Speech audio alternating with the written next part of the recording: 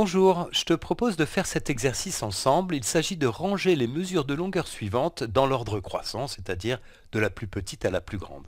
Donc tu vois, ici on a une, deux, trois, quatre longueurs.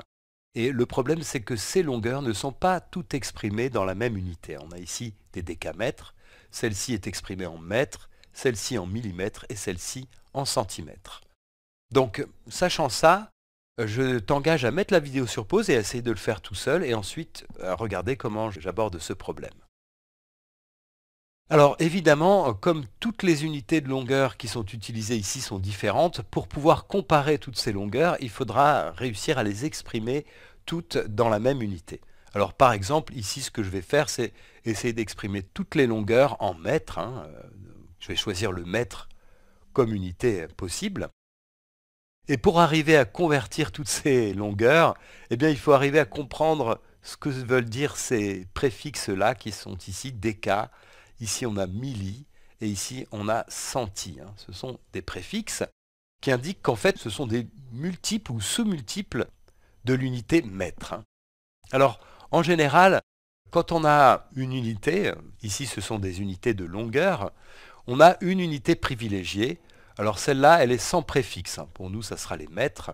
Donc ça sera en fait ce qu'on va considérer comme le 1, l'unité de, longueur. Et puis si je multiplie euh, par, par 10 cette unité, eh bien on va utiliser le préfixe déca. Donc un décamètre, en fait, c'est 10 mètres. Un décagramme, ça sera 10 grammes. Hein. Ensuite, si je multiplie euh, l'unité de base ici, la première unité, par 100, eh bien ça, je vais obtenir une autre unité qu'on va repérer avec le préfixe hecto.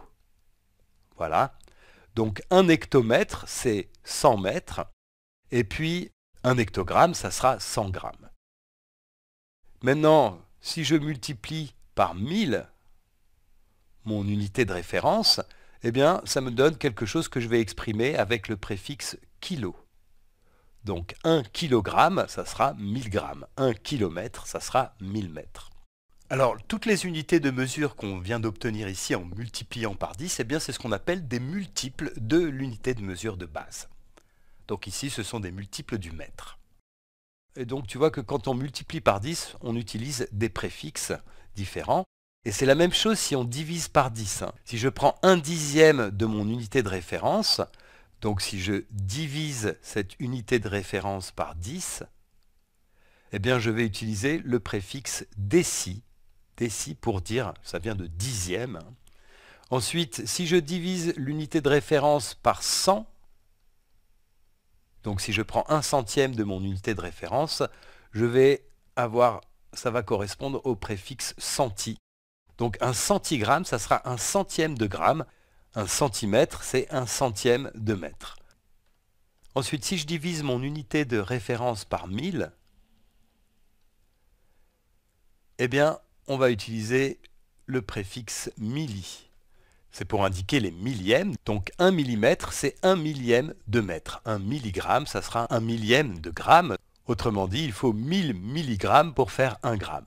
Ou bien il faut 1000 mm pour faire 1 mètre. Donc toutes ces mesures-là qu'on vient d'obtenir ici en divisant l'unité de mesure de référence par 10, eh bien c'est ce qu'on appelle des sous-multiples de l'unité de référence. Donc ici ce sera des sous-multiples du mètre. Donc maintenant qu'on sait ça, je vais exprimer toutes les longueurs qui sont ici dans la même unité et je vais choisir de les exprimer toutes en mètres. Donc la première ici, le 1 décamètre, 1 décamètre, eh bien on a dit que c'était 10 fois 1 mètre. Hein. donc c'est 10 mètres. Voilà, ça c'est pour la première. La deuxième, c'est 13 mètres. Donc là, on n'a rien à faire. Hein. elle est déjà exprimée en mètres. Maintenant, la troisième, alors c'est 15 000 mm. 15 000 millimètres.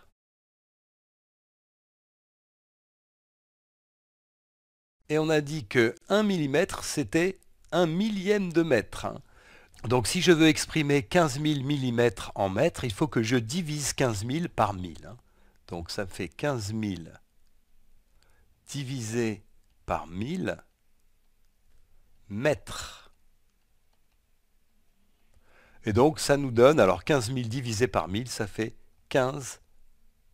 Donc on a 15 mètres. Donc cette longueur-là, c'est 15 mètres. Enfin, la dernière, 1900 cm. 1900 cm.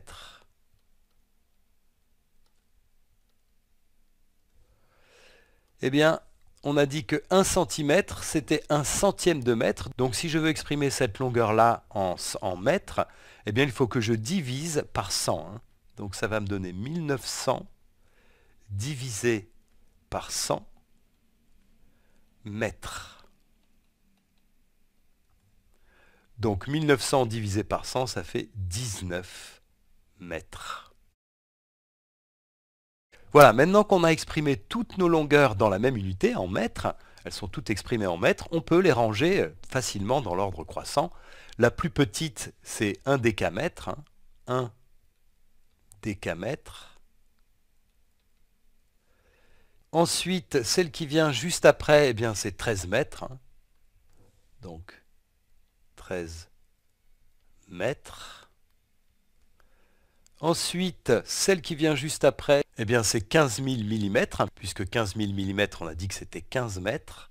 Donc, 15 000 mm.